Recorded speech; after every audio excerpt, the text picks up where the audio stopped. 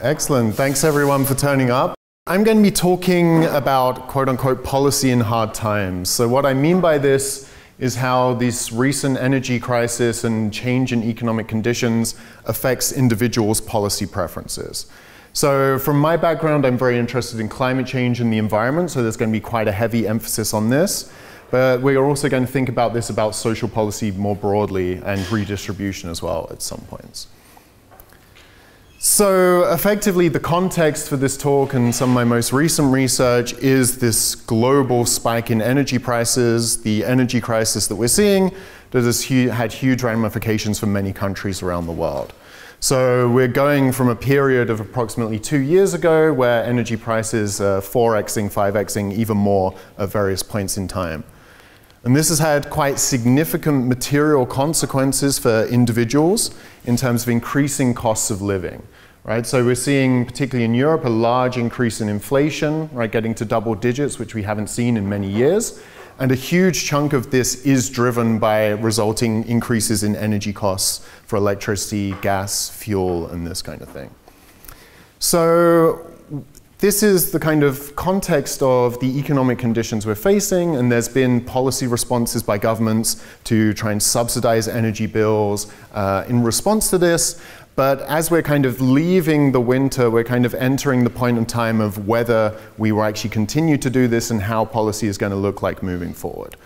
And particularly in the UK context, there's a lot of discussion now of whether these energy subsidies directly transferred to individuals will continue or not in the coming months. It looks like there may be some continuation, at least for the next three months. But then this will be important to think about as we move forward given people's experience of energy crisis and the continued impact on individuals' bills and livelihoods, how this is going to shape the policy arena from a public opinion perspective moving forward.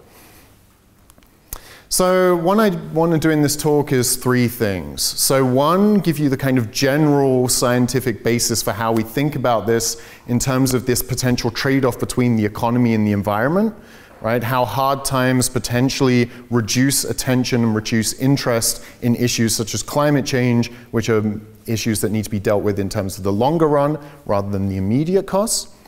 Then I'm going to talk about some research that I've been currently working on, which looks at how people's experiences and expectations about energy insecurity as a result of this energy crisis feeds in and shapes their policy preferences. And then finally, not thinking just about how we spend money, but how we raise money in the context of carbon taxation and how the energy crisis has potentially shaped the political support for this as well, particularly in terms of how we use the money from carbon taxation to um, bolster political support.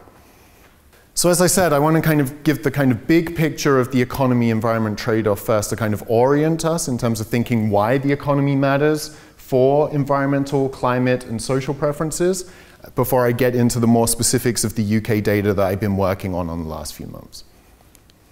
So effectively, there's a quite long-standing literature now that thinks about the extent to which people think there is a trade-off between continued economic growth, economic development, and dealing with climate change and the environment right? So this can take many forms. We can think about this from a degrowth perspective. We can think of this in a kind of hard times perspective, which is the type that I'll be focusing on, which is that people have limited attention to policy areas and limited resources. And if there is a decrease in these resources, then there may be a prioritization of certain issue areas over others. Put simply, if times are hard, then people will be more concerned with dealing with the hard times rather than long run issues such as climate change and the environment that don't necessarily provide immediate benefits in the short run.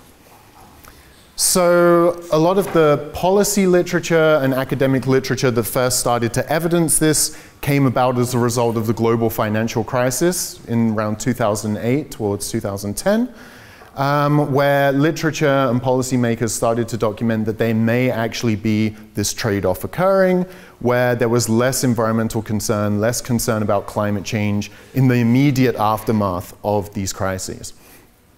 Now, as we kind of progressed through time a bit more to 2016, 2017, then what we started to see in the scientific literature is a bit more contradictory or mixed evidence in this regard. So you have series of papers that start to actually see that actually economic conditions aren't really associated with decreasing environmental concern. Um, so if we look at unemployment rates in US districts, then this was not necessarily associated with decreases in concern. So the literature started off from this kind of strong premise of that there is this economy environment trade-off to becoming more mixed over time. Now, one thing we may be concerned with if we're thinking about unemployment in the 2010s is how much of this is actually a very strong economic impact on individuals' livelihoods and way of living.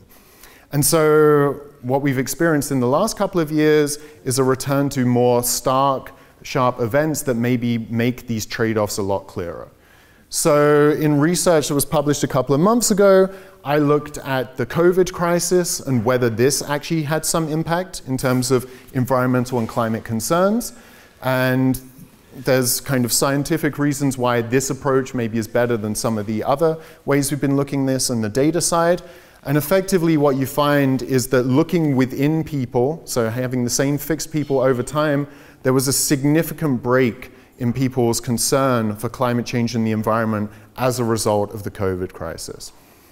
Um, effectively what happened is that across a variety of ways of measuring this, so whether we should prioritize the environment versus the economy, whether the environment and climate change is the most important issue, or whether the environment or climate is the most important issue itself, there was a significant decrease in this in this time period as a result of COVID. Right? So this provides some initial evidence that we should be thinking that very hard economic times um, that have meaningful impacts on people's livelihoods and experiences can lead to a deprioritization of the environment. So that was COVID. What I'm going to do now is kind of redraw our attention to some more recent work that I'm now doing on energy insecurity in the context of the current energy crisis. And unlike the, the work I did with COVID, which was focused quite clearly on climate and the environment, I want to kind of broaden our policy horizon to think of about a variety of different ways that energy insecurity can play a role. And so this is going from the very specific, which is policy directed towards the energy crisis in particular, to broader conceptions of policy that are maybe somewhat related in terms of issues of energy, uh, and in renewable investments, which is the climate change issue, to our broader conception of how we deal with shocks from a social policy perspective. Now, the key way I'm going to think about this, um, which is very different uh, from very often how we maybe think about this in very broad public opinion terms, is this is not so much about concern for an environment anymore, but it's very focused on policy, and it's very focused on policy in two distinct ways. So thinking about policy, whether it's compensatory, so compensation-based, or investment-based. Right, so this is important because these things work on different timelines. Right, so compensation is an immediate response to the issue at hand, often transferring resources, transferring material towards individuals, whereas investment is very often a longer term perspective of how do we resolve the fundamental tensions and fundamental issues. So there's a long literature on this in the context of globalization, of thinking about how we deal with increasing trade openness and how economic competition can affect people's livelihoods, where you can either think of welfare transfers to compensate the losers of globalization, or you can focus more on investment in skills so that people are better able to compete in the context of globalization. So what does that look like for the three issue areas I'm going to talk about here? So in the case of energy, again, this is very specific um, and quite targeted in this UK case, which is talking about one, the energy bill support scheme, which was uh, a one-off transfer for individuals that was uh, uh, effectively a deduction of their energy bills, to the investment side, which is dealing with the long-term fundamental issues, which is then ultimately investing in alternative sources of energy, so you're less vulnerable to the energy crisis. In the climate change case, this is focusing on compensation in terms of those who are affected by the negative consequences of climate change, and investment again being ways to mitigate climate change in the long run. So if you're familiar with the climate change literature, this is more the distinction between adaptation and mitigation. And then finally, in terms of social policy, looking at direct transfers to individuals in terms of basic income schemes versus long run investments in education that should make people less vulnerable to economic shocks through higher levels of skills. So these are the six outcomes that we're effectively going to be interested in in terms of seeing how energy insecurity shapes these. How am I defining energy insecurity here? There's three dimensions that are of interest. So first is people's prior experience of energy. So from a kind of political science perspective, this is retrospective energy insecurity. So within the last 12 months, did you have difficulty paying your energy bills? So before the crisis really took hold. We have our more prospective measure, which is looking ahead to the next 12 months. Are you going to feel that you have issues in terms of paying your energy bills?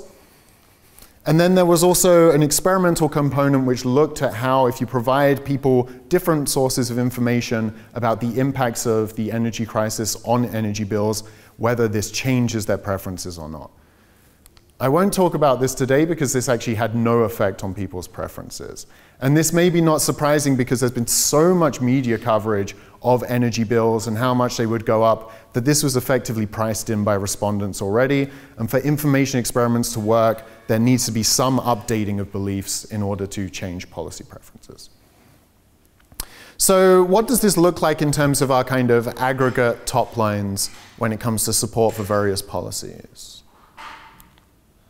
So first looking at the case of energy policy, uh, just to note we have this 50% line here which determines whether there's support or majority opposition. If the blue reaches across this line, then it means there's majority support. If the blue is on the left-hand side of this line, then it means there's majority non-support. And so for the case of energy policy, very directly targeted to the specific issue at hand in the energy crisis, you see majority support, um, approximately 70%, both for compensation and investment. So there's not a distinguishing between these two different aspects in terms of short versus long run. If it's to deal with the current crisis, there is significant support. However, as we move away from the immediacy of energy policy towards climate and social policy, then we start to see some changes in what this looks like.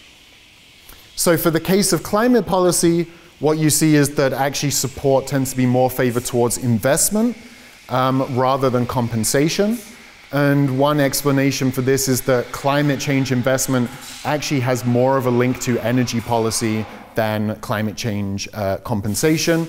Right, so mitigation very often involves changing the renewable, uh, changing the energy sources towards more renewable energy sources, uh, and that's a kind of embedded component of this, whereas compensation for climatic events is less immediately relevant at this time.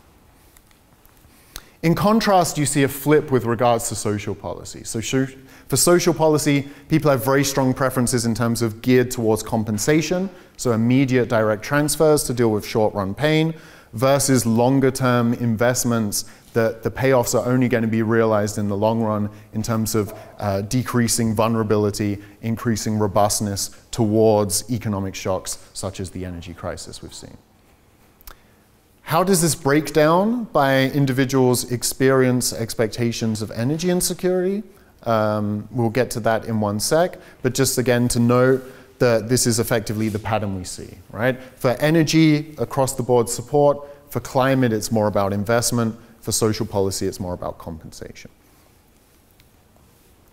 So in terms of individuals' experience of energy insecurity, uh, what we also see is that the extent to which it matters does depend on the issue area. So for context, our y-axis here, so how high or low the points are, is what proportion support this particular policy. So again, this 50% line, if things are above this, this means the majority support taking action here. Um, whereas if it's below that line, then there is not majority support for this particular policy area. And what we do as we move along for each panel is look at those who are not energy insecure, right? So didn't have difficulty paying their bills in the last 12 months compared to those who did have difficulty paying their bills in the last 12 months.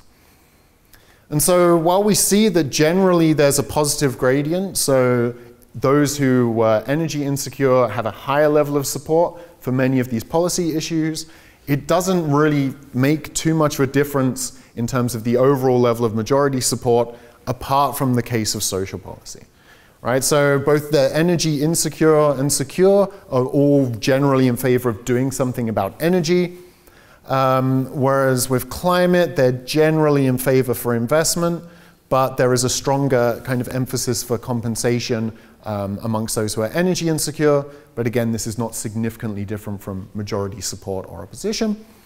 Whereas when it comes to social policy, there's a clearer uh, bifurcation where those who are energy insecure are very in favor of uh, transfers, those who are not uh, those who are energy secure, so don't have difficulty, are relatively indifferent, but neither have any real strong preference in terms of actually dealing with investment in this case.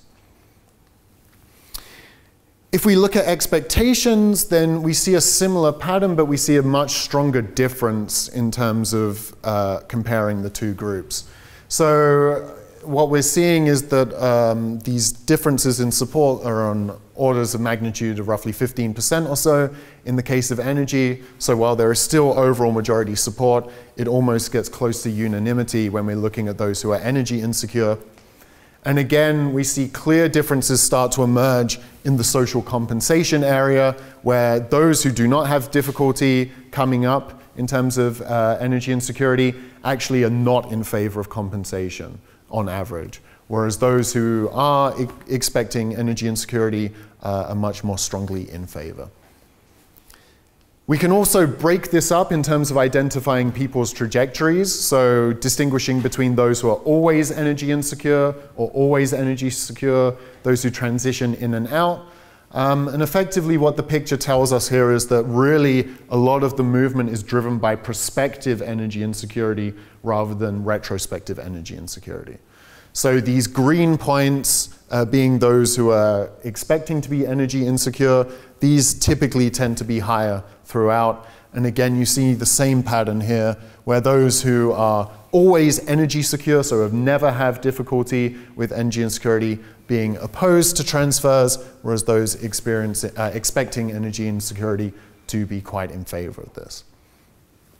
So effectively what this is saying is that these changes and these experiences um, of energy insecurity play a large role in terms of one, which issue areas are prioritized, but also how the form of policy action in an area, issue area should look like. So there are strong kind of divergences between compensation and investment for those issue areas that are not directly linked to the current crisis, which is climate change and social policy, but there's general strong support in the case of policies that are directly linked to the current crisis, which is energy. So just to finish off with one small part on this, so, so far I've talked a lot about how people effectively want money to be spent, how people want action to be taken, but it's always useful to think about the flip side in terms of whether people support actually increasing taxes in order to take these actions. And so I'm going to talk about this in the context of a carbon tax, as this is one of the most kind of politically conten contentious policy instruments for achieving change in climate change, uh, but is one of the strongest in terms of policymakers uh, and economists' suggestions in terms of actually making a meaningful difference. So I'm going to be talking about this in the context of the energy crisis um, in the UK, but there's been, again, a history of contention and opposition towards carbon taxes or increasing taxes on fossil fuels in general. And the most notable example of this, of course, would be the Gilets jaunes movement from about five years ago now, where the uh, current French president was planning to increase fuel taxes but this led to large protests on the streets, uh, which ultimately led to these tax increases to be rescinded. Now, uh, emerging literature uh, on this issue thinks about how we can design carbon taxes in a way to avoid issues such as this. And so, in a paper from about four years ago now, um, both I and a co author focused on this with the idea of very important in these issue areas is not just that you have a tax by itself, but taking the revenue raised from a tax and using it in ways to increase political support. And so in this paper, what we found was that the two main ways that you can actually boost support in these contexts actually are kind of directly linked to what we talked about just a moment ago in terms of design and policy. They're either compensation, which is giving a tax rebate to everyone so that people are shielded from the price increases, or it's investment in renewable energy. Okay? Um, and so what I wanted to do in this next part is to see, do these two forms of revenue recycling continue to matter in the current context where investment may be a bit more contentious and where there's even more uh, pressures on people's households that may reduce support for carbon taxation. And so this was done again in an experimental setting. Uh, which means that this quote unquote control condition here is if you have a carbon tax with no stipulation of revenue usage. We have a carbon tax where there's a stipulation that this will be used to invest in renewable energy. And then there's also the condition here, which is the rebate, which everyone gets some money back, so the compensation based argument. And so again, our 50% line here is going to distinguish between whether there's majority support or not. Those above have majority support. And so what you find in this more recent context is that the revenue recycling mechanism through investment no longer significantly boosts support for a carbon tax. So individuals are pretty indifferent between a carbon tax that has no revenue spending or no revenue stipulation versus uh, investment in renewable energy.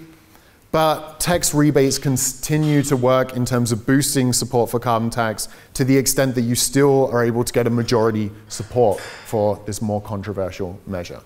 Right? So in terms of an actual treatment effect, this is probably approximately 12 percentage points, so quite large in magnitude. Additionally, this also depends on trajectories with regards to energy insecurity. And what you find is that the one group that tends to prefer renewable investment rather than a rebate uh, is actually those who are currently entering energy insecurity that were previously secure. So these may be individuals who expect that they will, this is a kind of one off change in terms of energy prices, and they'll be better kind of placed to take advantage of investments in the future.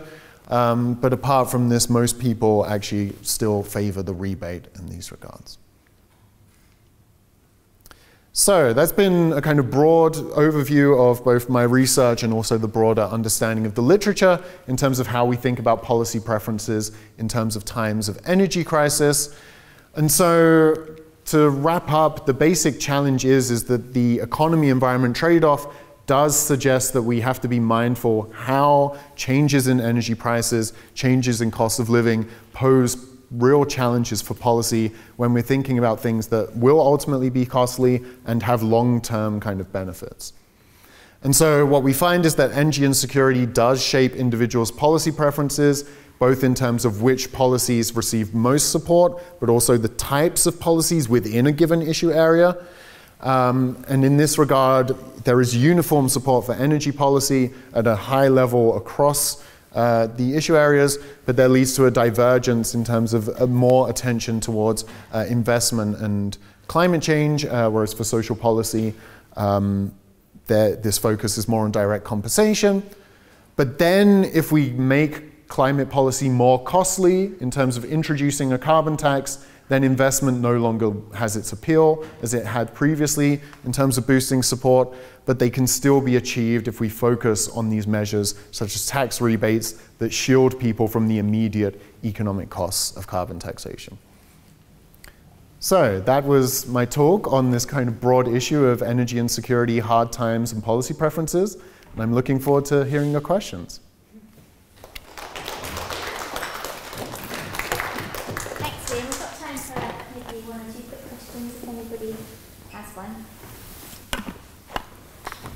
My typical yeah. question, which is what um, what sort of made you get into this area of research in the first place?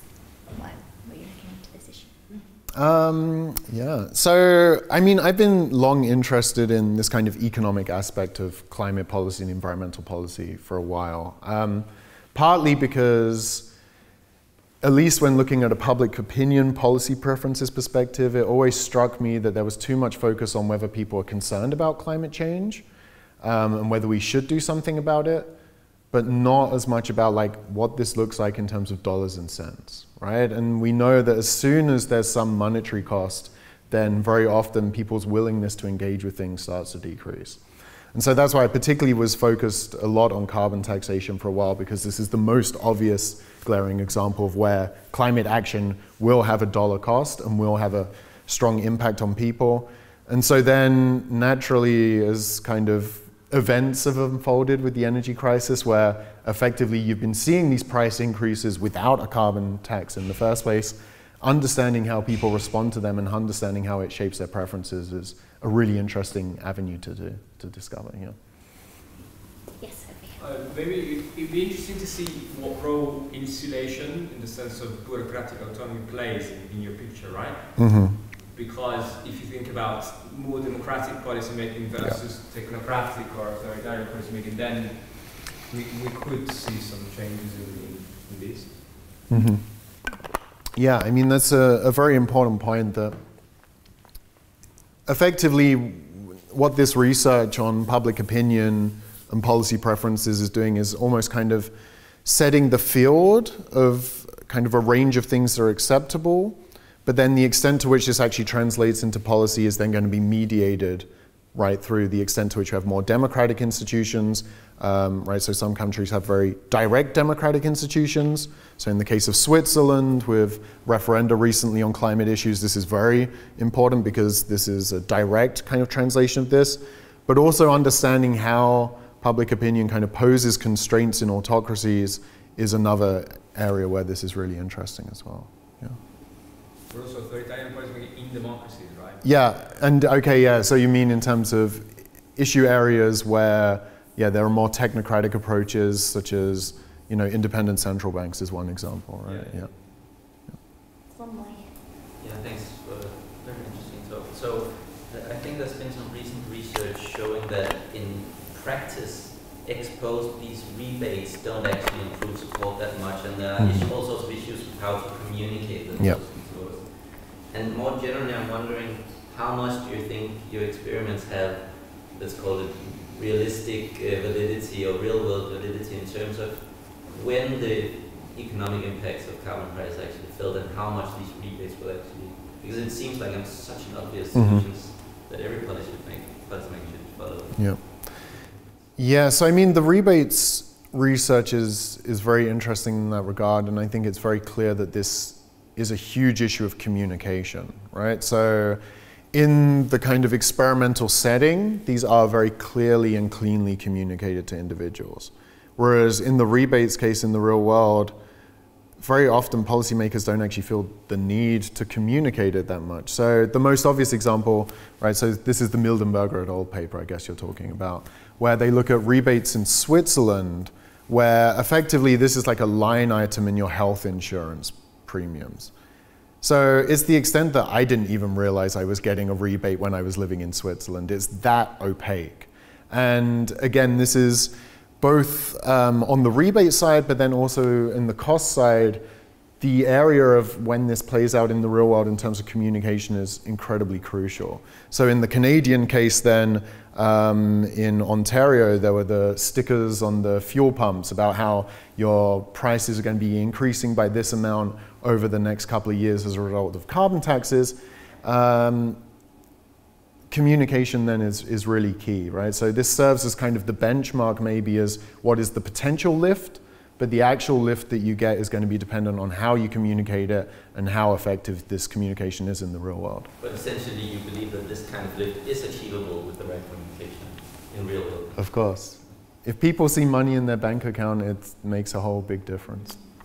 Okay, last one. Um, to what extent do you think that um, those policy preferences have been or will be taken into account by uh, policymakers in countries such as the UK or maybe other countries? So I think in the energy crisis case, I think it's very clear that there is quite a bit of hesitancy right now in terms of rolling back some of these subsidy schemes, exactly for this reason, right? So this is why originally the plan was come April to discontinue the, the, the, direct energy support schemes, but now we're having discussions of smoothing this out further until July uh, to kind of take advantage of the energy prices continuing to fall over that time frame. I think, and hopefully things permitting, they'll be doing some more research on this. What's going to be interesting is what happens come next autumn, next winter, where it's very likely you're going to see increases again, and how policy is going to be responsive to that, right? So, one, in terms of if it's just going to quickly move in terms of uh, continuing to subsidize individuals. And then, if we're thinking even further down the long run, how are we going to be paying for these direct compensation schemes that are kind of not funded through increases in taxes so far?